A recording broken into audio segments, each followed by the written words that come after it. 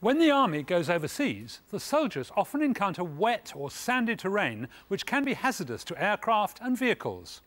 Recently in Afghanistan, two Chinook helicopters worth £25 million each were damaged in the harsh conditions. One solution is to build concrete runways or lay aluminium tracking, but these are costly, heavy and time consuming.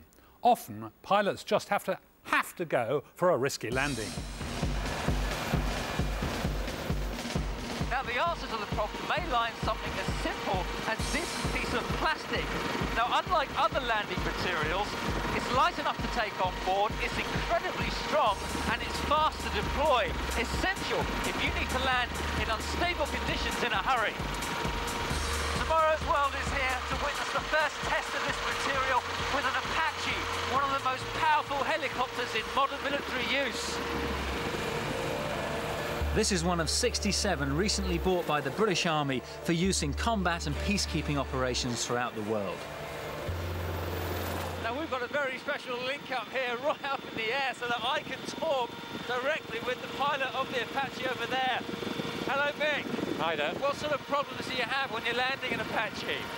Uh, the problems are that the aircraft come quite heavy. If you load up with uh, fuel and ammunition, it can weigh up towards 10 tonnes and obviously it will sink in the ground It could damage parts of the aircraft. And then you get lots of different types of terrain when you're abroad?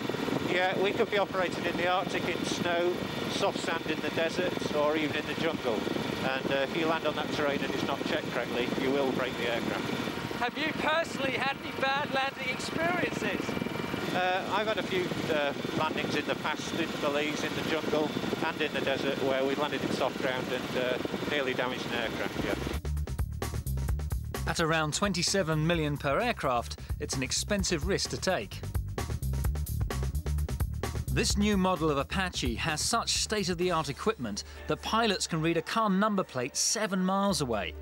Its radar system allows it to detect more than a thousand targets at once, and the onboard computer can transfer data to other aircraft and to the commander at base, who's relayed a video image of what the pilot is seeing through his night vision sensor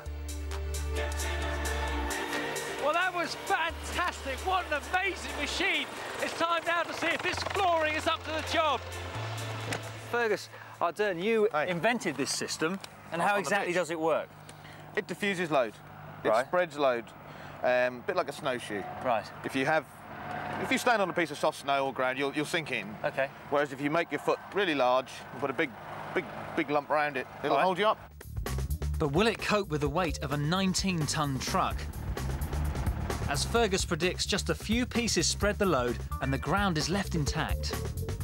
So the material can handle a heavy truck, but is it fast to deploy?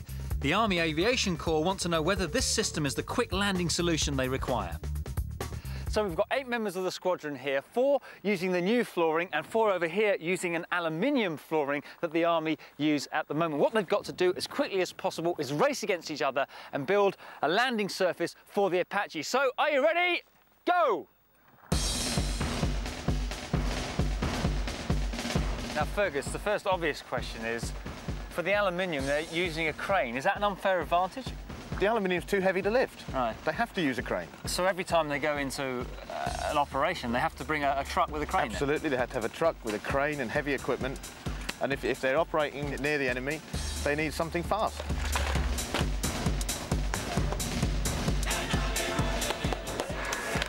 So here we are, just over 10 minutes gone, and as you can see, the new flooring is nearly finished. If you have a look over here at the aluminium flooring, well, they've only got about five pieces down and probably another 12 pieces left to go. No contest here. And in just 14 minutes and 3 seconds, Fergus's landing pad is complete. The heavy aluminium flooring still has a long way to go. As Mick fixes the landing pad in his sights, the biggest test for the plastic flooring is yet to come. The problem with some temporary platforms is that they can get caught in recirculating air under the helicopter, flip upwards and damage the rotor blades and engines. So how will Fergus's system perform?